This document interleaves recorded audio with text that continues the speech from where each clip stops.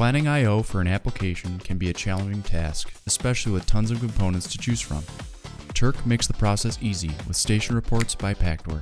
We are going to use Pactware Offline to plan and create a BL67 station report. Before we begin, please make sure to download Turck Software Manager at www.turck.com forward slash TSM. To view a tutorial for installing TSM, click on this link. With Turck Software Manager downloaded, open TSM and click the plus symbol next to Fieldbus Technology and click the selection boxes for FDT Frame Application Pactware and DTM for Fieldbus I.O. systems. Then click the download button. With these items downloaded, open Pactware. Click Project and then click Turck I.O. Assistant Quick Start. In the pop-up window, you'll notice that Configure System Manually is automatically selected. Click Next.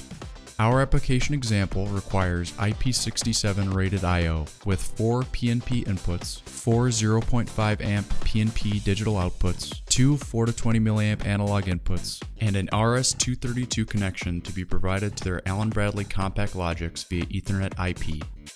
We'll start by selecting the Fieldbus interface and protection class.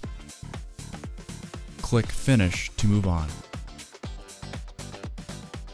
Pactware will show all Turck Ethernet IP IP67 devices that can be connected to it. For this project, we will select the multi-protocol BL67. Highlight it and click OK. In the pop-up window, click OK. On this screen, we will select the I.O. required for the application. First, click on the Type column to sort the I.O. Our application scenario requires four PNP digital inputs, so click on the plus sign on the row for the BL67 4DIP. The last column will turn red, indicating that a base module has not been selected yet. Double-click on the red area and a drop-down list of possible bases will be presented. The last part of the part number will tell us the quantity and type of connectors, such as 4M12 and many more. The application scenario did not specify this, so we'll choose a 4M12 base. Remembering that the application required four 0.5 amp PNP digital outputs, two 4 to 20 milliamp analog inputs,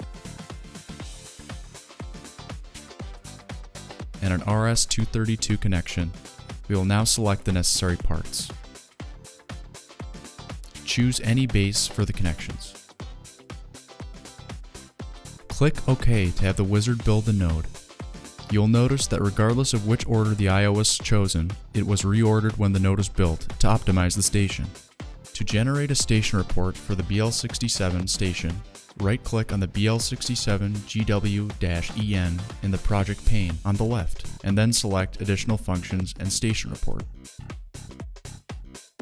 Here, we can choose the different parts for the station report to generate. Put a check next to all chapters and click OK. From here, we can view all the different sections of our documentation that was automatically generated. You can also export this station report to a PDF by clicking the icon above the report and choosing a file name and location for the newly created PDF.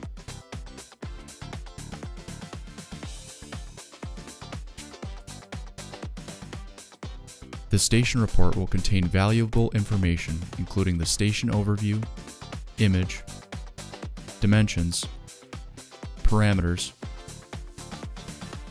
article list, and an Ethernet IP report. Pactware makes your BL67 I.O. station planning quick and easy. Thanks for watching.